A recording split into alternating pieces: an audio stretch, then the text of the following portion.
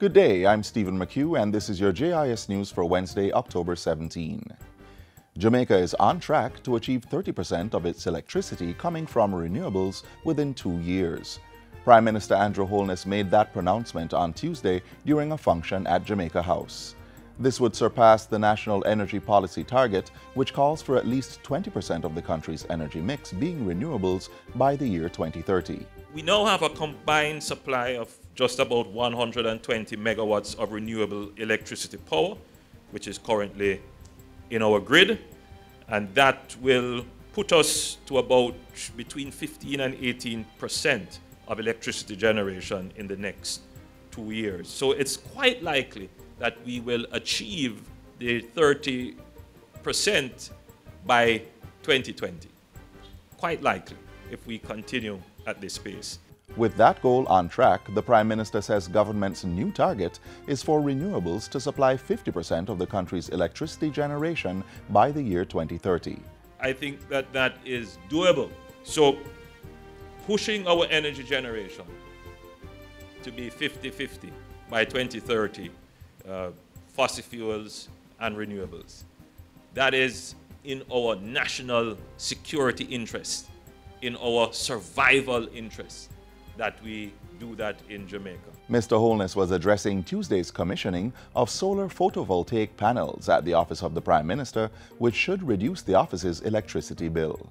The project was led by the non-governmental organization Solar Head of State in collaboration with the Petroleum Corporation of Jamaica, National Energy Solutions, the Clinton Foundation, and other partners. It included a Jamaica Solar Challenge competition with Ryan Bent winning the top prize of $75,000 for composing a song to communicate the benefits of solar energy. The state of public emergency in St. James will remain in effect until January 31 next year. Prime Minister Andrew Holness successfully led a resolution in the House of Representatives on Tuesday to allow the enhanced security measure to continue. All 47 members of the lower house who were present voted in favor of the motion. 16 MPs were absent.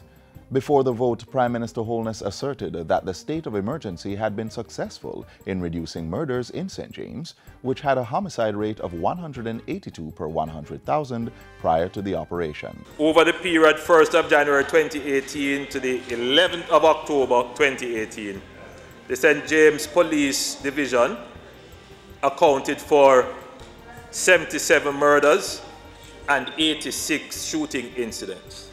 This reflected a 53% decline and a 67% decline, respectively, in both murders and shooting incidents when compared to the same period in 2017.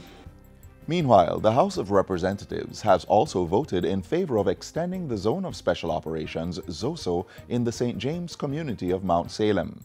Prime Minister Andrew Holness says the 60-day extension will give the state space to successfully continue its social intervention activities, which have complemented the security operations. Today, the high rate of gang-related violence, which previously characterized the community and the police division by extension, is no longer at the level it was prior to the declaration of the zone. In fact, over the period 1st of September 2017 to the 11th of October 2018, the community experienced no murders or shooting incidents. Mount Salem was the first ZOSO to be declared in September 2017 and transitioned to the build phase in February 2018. To date, that has resulted in a number of roads being rehabilitated, while 115 households have had their accounts regularized by the National Water Commission.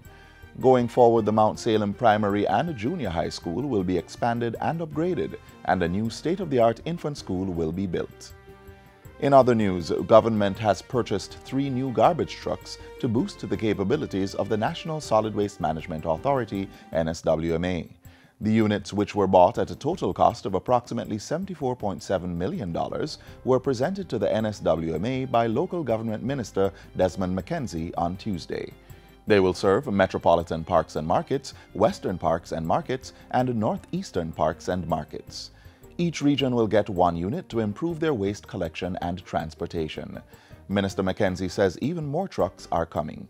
By the end of This year, early January, an additional 12 trucks will complement the fleet and by year end 2019 we are looking at close to 50 brand new trucks for the National Solid Waste Management Authority.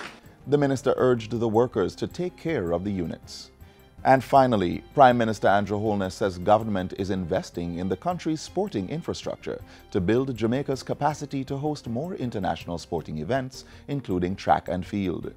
The government has already started the process under the banner of Jamaica 55 Legacy Projects to improve the National Stadium complex here, the Trelawny Stadium, the Chedwin Park Sporting Complex in St. Catherine, Drax Hall in St. Anne's, and uh, the Herb McKenley Stadium in Clarendon.